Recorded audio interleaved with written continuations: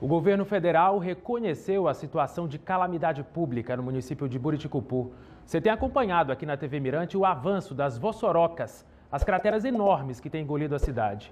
Enquanto nada é feito, os moradores vivem com medo de uma tragédia a qualquer momento.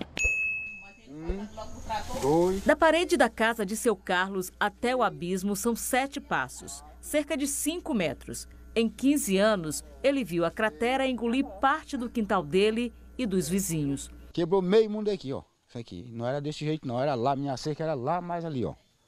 Certinho ali, ó. A cerca foi embora? Foi embora, foi embora tudo. A cerca minha foi embora da vizinha também lá, ó.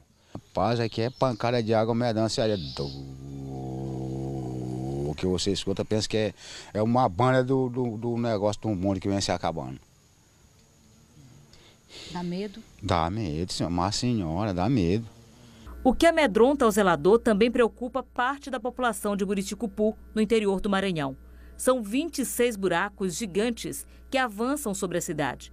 Alguns chegam a medir 600 metros de extensão e 70 de profundidade. Essas crateras são fenômenos geológicos que surgem como pequenas fendas no solo, geralmente provocadas pela força da água da chuva.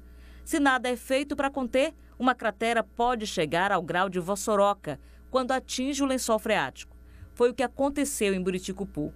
Segundo especialistas, o desmatamento, a ocupação desordenada, o relevo e o solo arenoso são os principais fatores que contribuíram para o surgimento e o avanço das vassourocas. A própria atividade humana, né?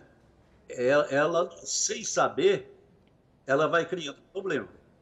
É, e, e, a própria administração, quando, quando, quando falo humano, não é crítica, não é nada, mas como, como não tem uma política defensiva, ela, ela acaba causando essas erosões. Então é um, é um material meio solto, que qualquer chuva, qualquer enxurrada vai, vai, vai levando micro, micropartículas do solo para níveis mais baixos.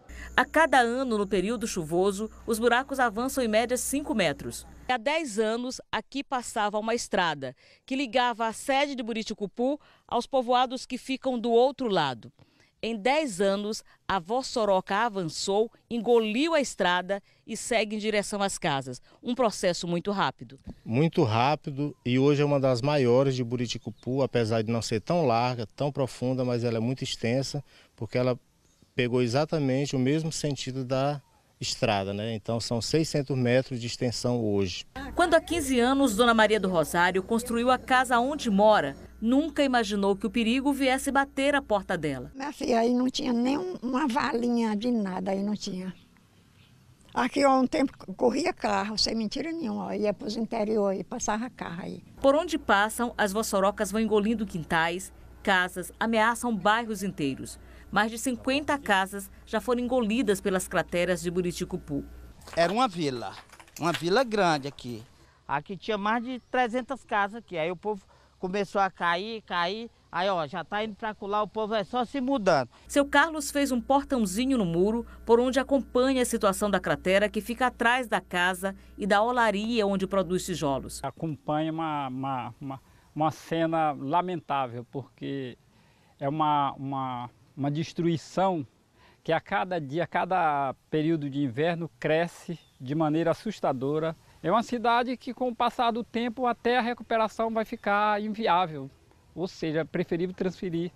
São problemas que surgem pequeno, mas como não tem assistência, não tem quem faça, aí dá isso aí, ó, uma, uma cratera enorme que cada vez engole mais casa, destrói o sonho que as pessoas constroem. Cerca de 180 famílias correm o risco de perder suas casas e cobram providências dos órgãos públicos. Até agora, só cobrança. Nós temos cobrado, nós temos oficializado pedidos de providência, mas até agora nós não temos uma resposta ainda. São vários tipos de preocupações: a preocupação ambiental, a preocupação com os moradores que perdem suas casas, Muitos até já entraram em depressão por falta de, de segurança, né? falta de moradia, sem dinheiro para pagar um aluguel. E isso causa preocupação. Tanto é que nós nos juntamos e criamos uma associação de moradores dessas áreas atingidas pelas vossorocas. A combinação de chuva e vossoroca já matou cinco pessoas. O filho de Dona Maria foi a última vítima. No dia da tragédia, tudo isso aqui estava encoberto pelas águas, inclusive as calçadas, que têm cerca de meio metro de altura. O filho da Dona Maria foi arrastado lá de cima, por cerca de 150 metros, até ser lançado aqui no abismo. Quando ele chegou aqui, foi que ele pediu socorro, me ajuda, me ajuda. A esposa dele já estava bem aqui. A esposa dele ia pular, mas aí chegou um rapaz, um moço que mora ali, e pegou ela. Na hora que ela ia pulando, ele pegou ela. No local, a prefeitura havia feito uma obra paliativa para tentar conter o avanço da Vossoroca, mas não colocou proteção. Na Justiça, existem duas ações contra o município impetradas pelo Ministério Público Estadual e pela Defensoria Pública. As ações já foram transitadas e julgadas. O objeto da ação era realocar essas famílias que se encontravam em área de risco, garantindo uma moradia digna para elas e que e as que não conseguissem a moradia fosse pago o aluguel social, que isso aqui basicamente é, uma, é um valor pago para que ele possa alugar uma casa e ter uma, uma, uma vida digna. A outra determinação é conter, é, efetuar obras de contenção onde há já esses barrancos, essas crateras, certo? E, por fim, fazer projetos para a, a, a reconstrução da área, vamos dizer assim, a, é, a restauração ambiental né, dessas áreas que, que, que, que estão atingidas pelas ossorocas. As chuvas dos últimos dias agravaram o problema.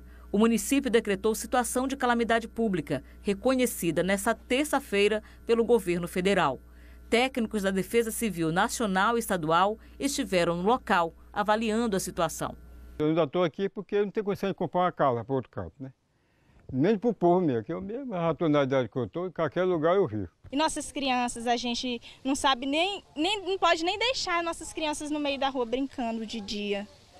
E por quê? Por causa do medo do buraco. O seu Paulo mora do outro lado da rua. Há três anos, ele atravessou a pista para fazer uma coisa que está ajudando a reduzir o impacto da descida da água nessa ribanceira aqui.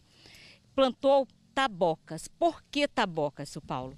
Porque ajuda a barreira de barreirar, que aí depois que enraizou, aí pronto, a água não desce mais, a barreira não desce. E quem lhe ensinou isso? Isso aí não, porque faz tempo meu pai.